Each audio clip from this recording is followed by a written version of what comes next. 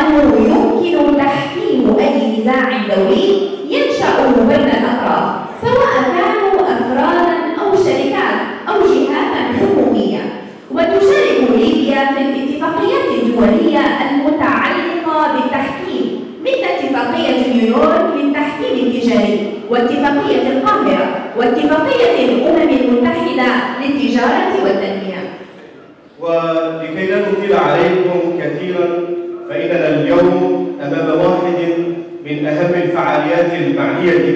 بالتحكيم في ليبيا المؤتمر الدولي للتحكيم في ليبيا الواقع والآفاق والذي تنظمه هيئة الرقابة الإدارية وأكاديمية الدراسات العليا بالتعاون مع المركز الليبي للتحكيم.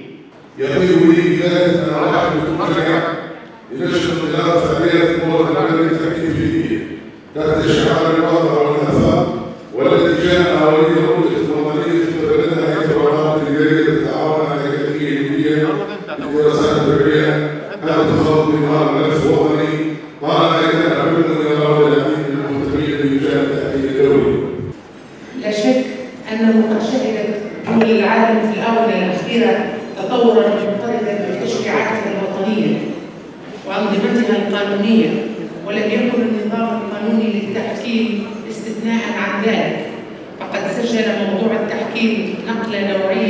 في مجال إنهاء المنازعات الداخلية والخارجية. ليكون دوره تكامليا مع القضاء العادي لسد الفراغ وملء الفجوات الذي هو يعتبر علامة بارزة في مسألة التحكيم ولأول مرة في في ليبيا يتم طرح موضوع التحكيم بهذه الصورة وهذه الشكل.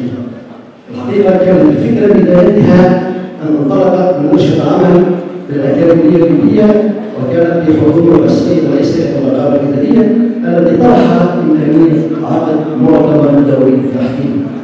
طبعا هيئة الرقابة الإدارية كانت لها دور رئيسي في وكبير في إنجاز واستصدار هذا القانون من مجلس النواب طبعا المشروع عد باتفاق وبتنسيق ما بين هيئة الرقابة والأكاديمية الليبية للدراسات العليا وكذلك العديد من المستشارين ومركز التحكيم الليبي لنشر الثقافة التحكيمية داخل ليبيا.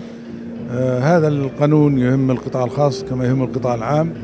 عندنا العديد من المشاريع من 2011 إلى هذه اللحظة متوقفة حوالي 10000 مشروع أو نيف أكثر.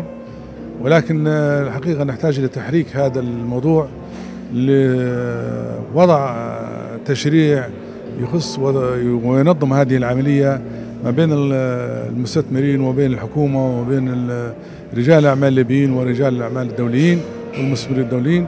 وهذا كان تفتقد الحقيقة المكتبة القانونية الليبية ولأن أصبحت في متناولها أن هي وفقا لهذا القانون تستطيع أن تمرم قضايا تحكيمية بمحكمين ليبيين وغيرهم بعد إعدادهم طبعا الإعداد الجيد.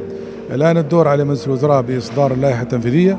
وكذلك وزارة العدل ووزارة الاقتصاد بوضع الضوابط والشروط والمعايير لإنشاء المراكز التحكيمية وشروط المحكمين حتى نضمن استصدار قرارات تحكيمية نافذة.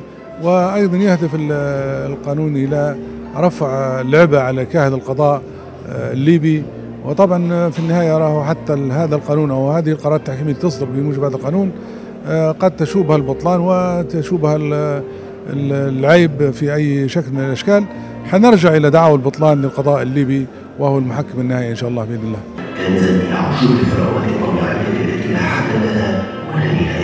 وبناء على موقعها الجغرافي تعد ليبيا حلقة وصل تربط بين افريقيا واوروبا كما ان موقعها المميز على الساحل الجنوبي المتوسط إلى تاثرها منذ اقدم العصور تاثرا مباشرا بالاحداث التاريخيه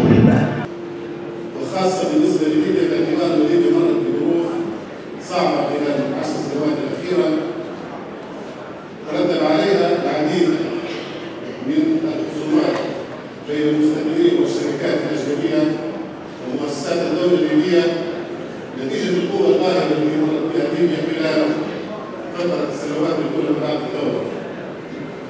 سعد بشرادة مدير عام المركز الليبي للتحكيم الدولي التجاري. آه، أحد منظمين هذا المؤتمر من بعض الرقابة الإدارية والأكاديمية الليبية. آه، هذا المؤتمر هو الأول من نوعه في طرابلس. آه، والحقيقة هذا المؤتمر لها أهمية كبيرة بما يحتوي من متحدثين دوليين.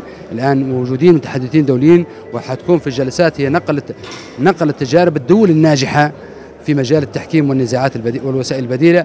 حتطرح في عدة جلسات. هناك بعض المتحدثين حضورين وهناك بعض المتحدثين حيكونوا عبر عن بعد آه، ويكون خبرات عالية جدا جدا. فأعتقد أن وخاصة بعد صدور القانون التحكيم في ليبيا في أبريل الماضي تعتبر ليبيا الآن يعني من الدول التي تمتلك قانون التحكيم. وهذا ما يجعل ويطمن المستثمر آه، للدخول في السوق الليبي في في الأستثمارات.